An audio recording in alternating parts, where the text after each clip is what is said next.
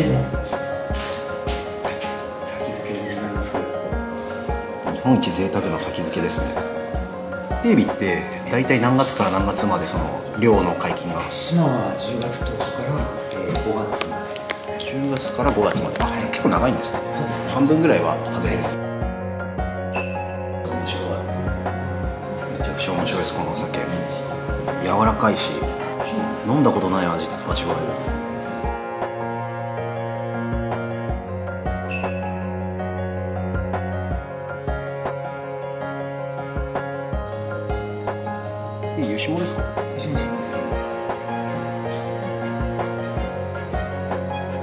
今日の2時に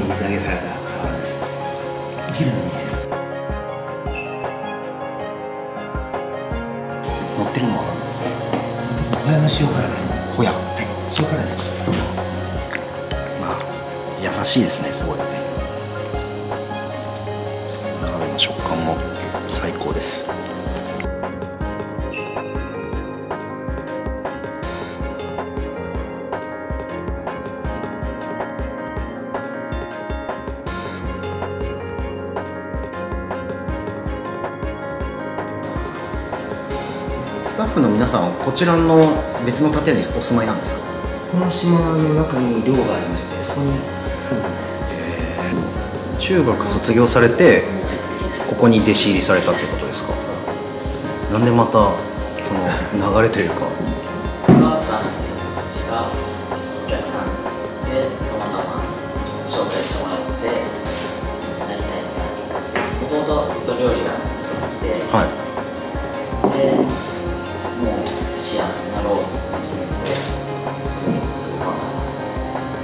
です。15歳は有望ですね。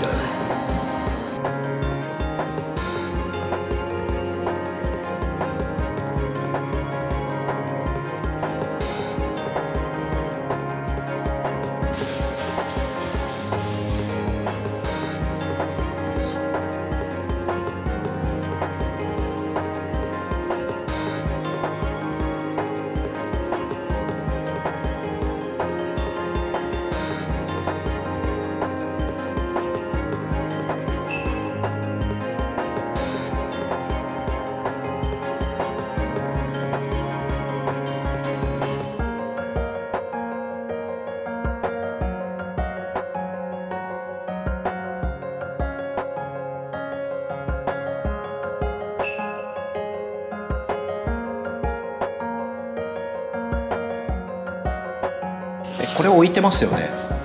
これ今日のじゃないですよね。これを寝かしてます。はい。しっとり系で。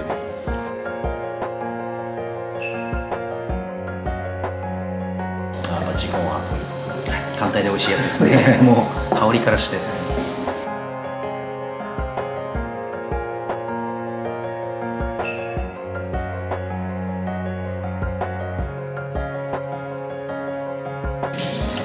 これって火入れないともっと弾力ある感じなんですか？いええっ、と柔らかい魚ですね。香りですか？その炙った理由っていうの。ははお二人はそれぞれ何歳なんですか？15歳です。15歳と？24です。24で。で彼はさっき聞きましたけどまたね最近女性のそういうお寿司屋さん増えてますけど、なぜこちらに？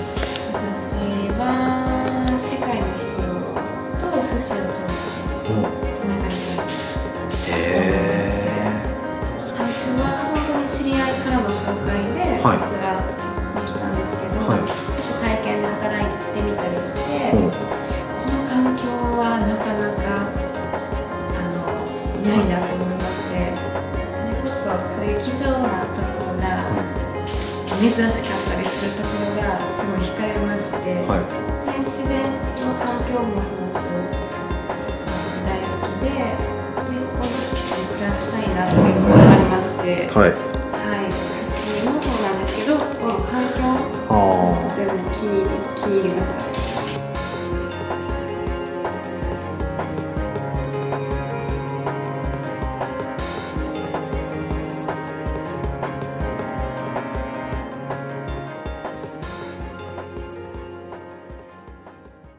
ああそこの奥で眠られてるのはお休みになられてるのは天照大神ですか？豊受の大神食の神様そう豊受はい。シェフってことですよね、えーシェフとは違う料理人。シェフでしょ、まあ、料理作るっちゅうので呼ばれたんですから、はい。それで作った料理を天照大神が内宮の方から外宮に食べに行くは日に2回。神さんは2回の食事あの奥に食堂があるわけですね。そうそうそう。はい、まあ、でもほぼあの三角の屋根があるじゃないですか、はい。あそこがもうほぼ食堂という食堂ですね。感じでそこが台所。あこれキッチン。じでも雪でもなんでも。ゃあこちらのそのキキッチンといいますか、はい。あの調理場うん。には本当に食材が奉納されて、うん。リアルなその食材がこういう感じ。ですえー、あで持ってくんですね、はい。あえへえでお供えというか、はい。するんですね。あーそうじゃ毎日やってるえっそこにチーム毎朝。な8時8時過ぎかな？日ごと朝夕。大見家祭。大見家祭。はい。もう40のごとく毎日朝夕やってます。って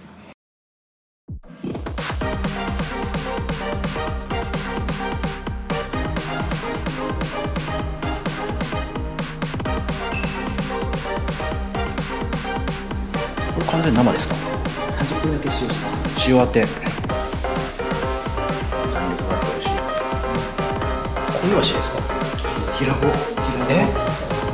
すみません。また方言ですね。平子って言います。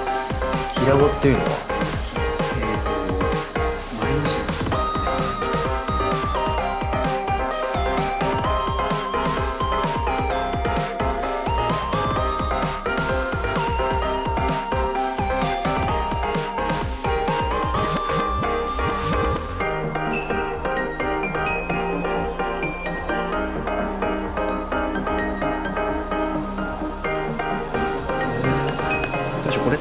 骨は抜いてない。いけますね。小イワシだから。これだけ脂があれば。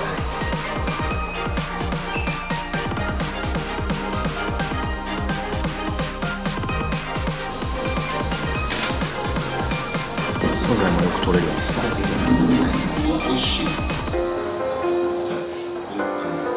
お出汁を飲むためのサザエ。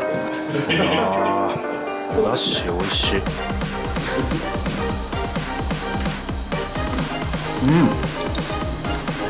んな美味しい山菜初めて食べた。ありがとうございます。うわあもう海苔がすごいもう触った時に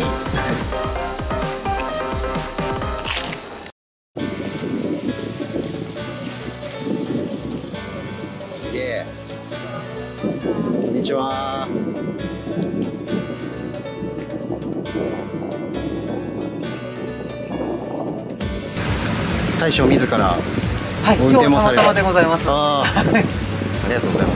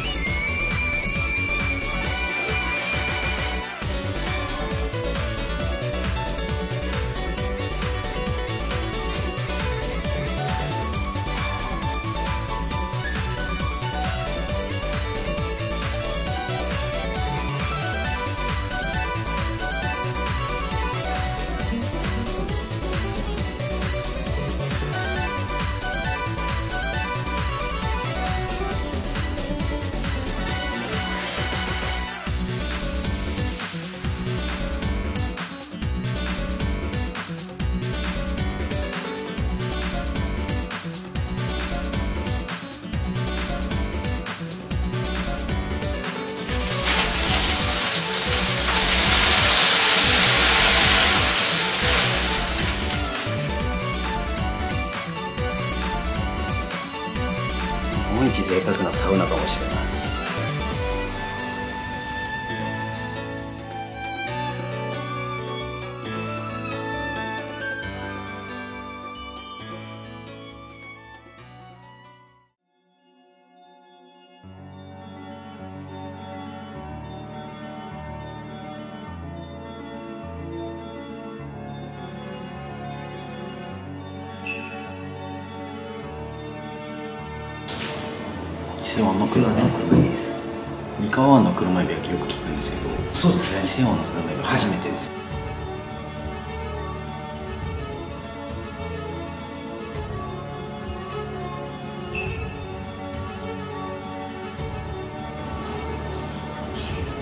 エビと赤って初めてかもしれない。この中は全然軽いですね確かに。美味しい。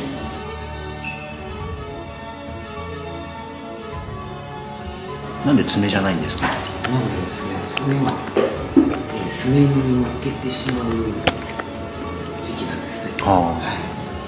半年ぐらい経つとだんだんこう持ち始めて味が乗ってくる。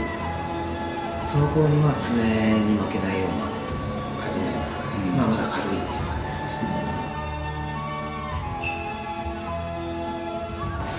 感が面白いですね面白い。油っ気が少ないんですよ。なので結構硬い感じですね、うん。いわゆるもうトロットロって感じというよりははい。まだ食感がある感じです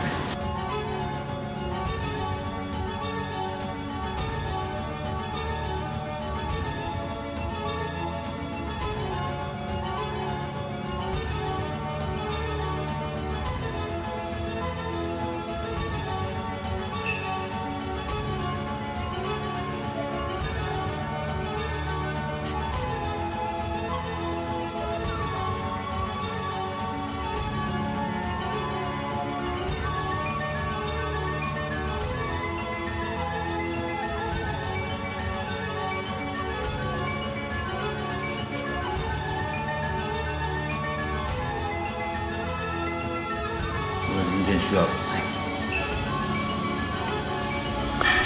今度はもうマグロ主役っていう感じ、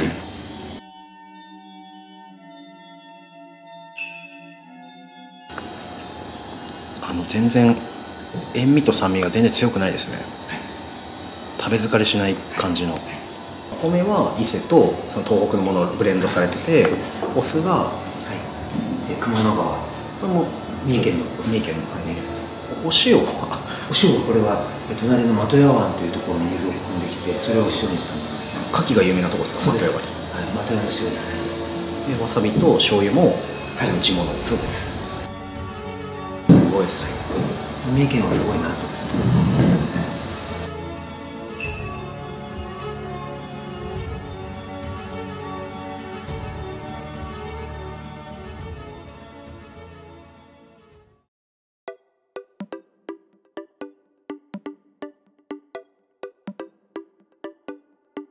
寿司屋さんの大将が作る朝ごはんは食べたことないです。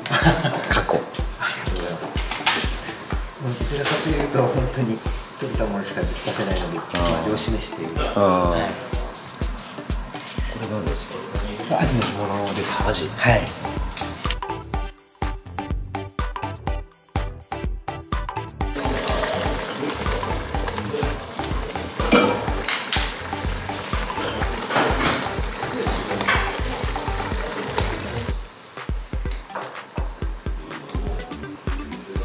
バの味噌煮、うわー。いいっすね。お酒飲みたくなっちゃう。朝なのに。まあ、ここに何年か住んでるんですけれども、本当に毎日違う景色、ただあの自分があんまり忙しすぎるとその景色も見れないのであ違う景色が見見れる心境でありたいといつも思いますね。はまさにまあ余裕というとあれですけど、それぐらい余白がないあないと。いそうなんですけどね。はい。そうなんですよ。寿司豊かという名前の由来はそこから来てるんです、へー。豊かの豊かという字は余裕の裕という字で。はい。はい、まあ気持ちを提供するという意味で自分たちも豊かな気持ちに言いなくちゃいけないなっていう、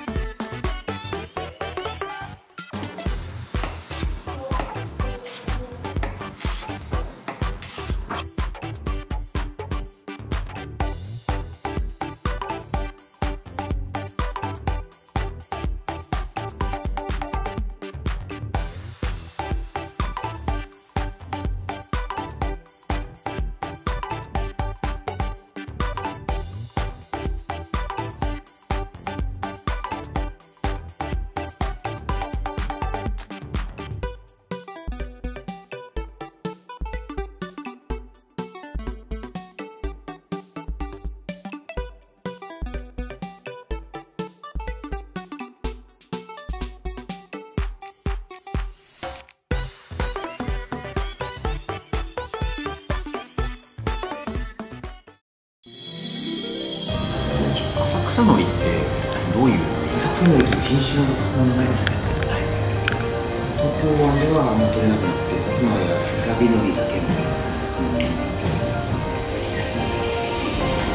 すごい色が黒いですね。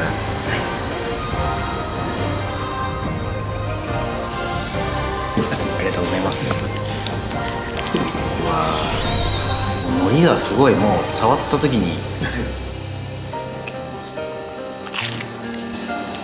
味しいです。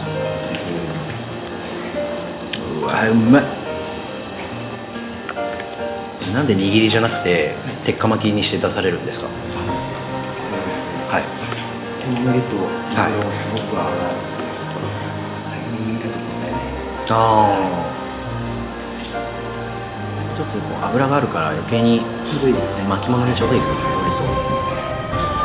ミスマグロって魚体自体は結構もう一定なんですよ大体同じぐらいまで育てますどれぐらいの？40キロぐらいですよね。はい。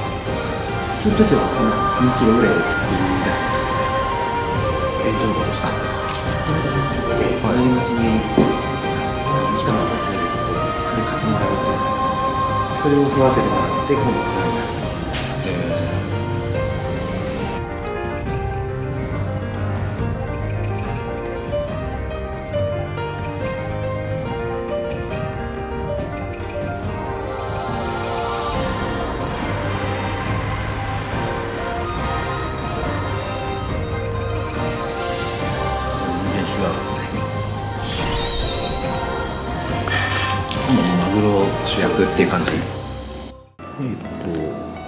とこの予約方法だったり、そもそもこう一般の方が来れるかみたいなところっていうとどんな感じなんでしょうか、一般の方ももちろん大丈夫でございます。おまかせというサイトではい。2ヶ月先まで空室を空けています。空室というか空席です空席はい。はい。お昼だけなんですけれどもそれをさせていただきます。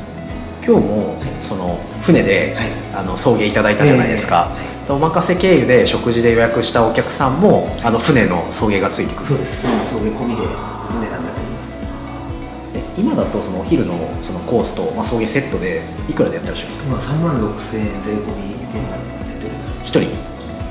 ただお一人様では受けてないので、はい。お一人様からという形で。でそれ予約取る場合は、えっと、お昼はもう貸し切りとかの時も、まあ、お客さんによってはあるしそうですね。あの222とかはいっていう相はい席も場合もある、同時スタートという形で同じ時間に船で迎えに行くという形です本当にそれは ほぼないですね。